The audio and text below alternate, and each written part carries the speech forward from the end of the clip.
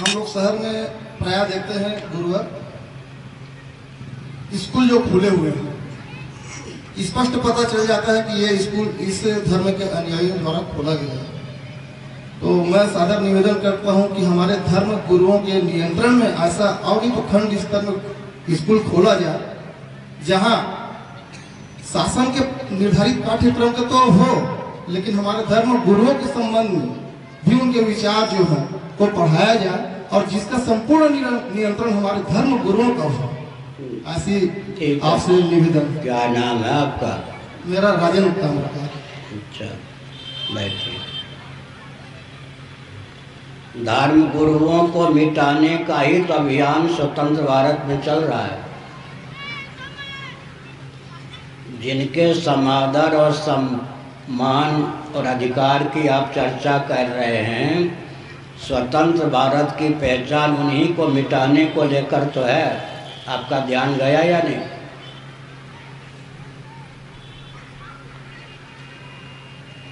अंग्रेज़ों ने इस इक्कीसवीं शताब्दी में भी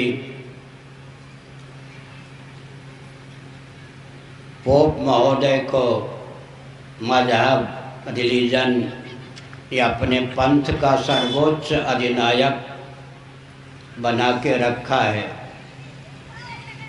पोप महोदय जिस शहर में रहते हैं, राजधानी और राष्ट्र संज्ञा उसे प्राप्त है पोप महोदय को राष्ट्राध्यक्ष और सेनाध्यक्ष का भी पद प्राप्त है। भारत में मान्य अतिथि के रूप में, अभ्यागत के रूप में रह रहे दलाई लामा जी तिब्बत के संविधान के अनुसार बौद्धों के न केवल सार्वभौम धर्म गुरु, अपितु राष्ट्रपति और सेनाध्यक्ष भी होते हैं। लेकिन अराजक तत्व आतंकवादियों के गुरु बनकर घूमने वाले भारत में शंकराचार्य के रूप में ख्यापित किए जाते हैं, मालूम है? सोनिया और अडवाणी जी के नकली दामाद जेल में बंद किए गए। और भारत में पचासों अराजक तत्व, नकली शंकराचार्य घूम रहे हैं।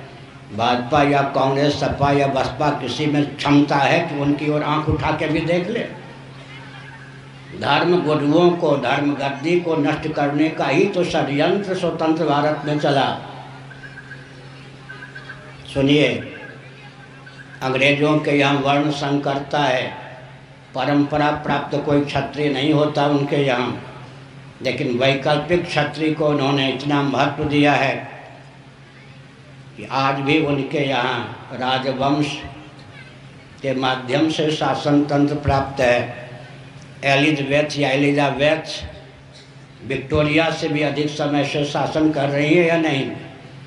लेकिन सत्तर वर्ष पहले अंग्रेज़ों ने भारत से राजतंत्र को विदा कर दिया और गुरुगद्दी के प्रति इतना विद्वेष उत्पन्न किया एक राजनेता को उन्होंने प्रधानमंत्री का पद दिया, राजगद्दी को नष्ट करने के लिए, और एक राजनेता को उन्होंने महात्मा का पद दिया, आध्यात्मिक मनीषी का, ताकि परंपरा प्राप्त मनुवादी शंकराचार्य भारत के धार्मिक आध्यात्मिक गुरु न रह जाएँ।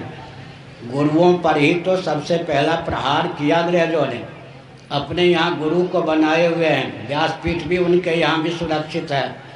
शासन तंत्र भी सुरक्षित है। भारत में सत्तर वर्ष पहले ही शासन तंत्र को, राजतंत्र को विलुप्त कर दिया और गुरगद्दी को नष्ट करने के लिए अंग्रेज़ों की कूटनीति देखिए, आज तो आतंकवादियों के गुरु शंकराचार्य उनके घुमाए जा रहे हैं। तो शंकराचार्यों को मिटाने का अभियान चल रहा है। उनसे परामर्श लेने की क्षमता भारत के किसी प्रधानमंत्री में न थी, न है आज। न किसी मुख्यमंत्री में थी, न आज है। इन सब की भावना है कि उनकी पार्टी के कार्यकर्ता संत और धर्माचार्य बन के घुमाए जाएँ। कांग्रेसी संत सुना है? कांग्रेसी संत नहीं सुना? भारत साधु समाज किसने बनाया? नेहरू जी ने। किसको आगे करके? गुलजारी लाल नंदा गृह मंत्री को आगे करके, ताकि परंपरा के कोई संत न रह जाएँ। यहाँ तक नेहरू जी ने कहा, जो संत कांग्रेस के प्रचारक नहीं होंगे, भारत साहु समाज के मान्य सदस्य नहीं होंगे, वे भिखारी गिने जाएँगे, जेल के सिकंजे में बंद कर दिए जाएँगे। ये अंग्रेज़ों की कूटनीति थी या नहीं? अंग्रेज़ों के यहाँ परंपरा प्राप्त पादरी होते हैं, और हमारे यहाँ कहा गया एक प्रधानमंत्री के द्वारा कि जेल के सिकंजे में बंद हो जाओगे अगर भारत साव समाज की सदस्यता नहीं प्राप्त करोगे। विश्व हिंदू परिषद ने कांग्रेस का अनुगमन करते हुए भाजपा के प्रचारक के रूप में धर्म संसद और उसके सदस्यों को उद्भाषित किया या नहीं? भाजपाई संत, कांग्रेसी संत, सपाही संत, लालू जी के संत बसपाई संत, इसका अर्थ क्या होता है? सबको परंपरा प्राप्त, गुरुगद्दी के प्रति द्वेष है। परंपरा प्राप्त आचार्य के प्रति विद्वेष है। और मैं डंके की चोर से कह देना चाहता हूँ, जैसे हनुमान जी का नाम ले लो तो भूत प्रेत भगने लग जाते हैं। ऐसे ही परंपरा प्राप्त गुरु जब टिकेंगे तो कोई भी राजनीतिक दल की दाल गलेगी। इसलिए परंपरा प्राप्त गुरुगद्दी को मिटाने का ही तो भारत में षडयंत्र है। लेकिन आपने जो कहा उसके लिए मैं संकेत करता हूँ, अपने परिवार से गुरुकुल चलाइए। अपने परिवार पर संभवतः आपका अधिकार हो। संभवतः इसलिए मैंने कहा, आजकल की बहू रानी, आजकल के बेटे, आजकल की बेटी पर अधिकार पूरा है कह पाना कठिन। है क्या? घर में ही फूट है। लेकिन संभवतः यदि आपका परिवार आपके हाथ में है, एक घंटा बैठिए और हमने तीन ग्रंथ लिखा है। वेदादि शास्त्र सम्मत सबसे छोटी पुस्तिका है, नीति चालीसा। उससे बड़ी पुस्तिका है, नीति सावित्री। उससे बड़ी पुस्तिका, नीति निधि। तीन ग्रंथ, नीति अध्यात्म से समन्वित। प्राइमरी से लेकर एमए तक, प्रथमा से लेकर आचार्य तक। के कोर्स की दृष्टि से हमने तीन ग्रंथ बनाया है। अपने घर से आध्यात्मिक सत्र प्रारंभ कीजिए। और सुनिए, ये जो मठ मंदिर हमारे सनातनियों के परंपरा प्राप्त हैं, शासन तंत्र ने अपने हाथ में ले रखा है या नहीं? नोट और वोट का केंद्र बना दिया या नहीं? श्री जगन्नाथ मंदिर आज क्या पुरी के शंकराचार्य के पास है? शासन तंत्र के पास? और भगवान आदि शंकराचार्य ना होते तो पुनः जगन्नाथ जी को कौन प्रतिष्ठित करते? द्वारकाधीश को कौन प्रतिष्ठित करते? बद्रीनाथ को कौन प्रतिष्ठित करते? बद्रीनाथ को पुनः प्रतिष्ठित किया भगवान शंकराचार्य ने। जगन्नाथ जी को पुनः प्रतिष्ठित किया भगवान शंकराचार्य ने। द्वारकाधीश को पुनः प्रतिष्ठित किया भगवान शंकराचार्य ने।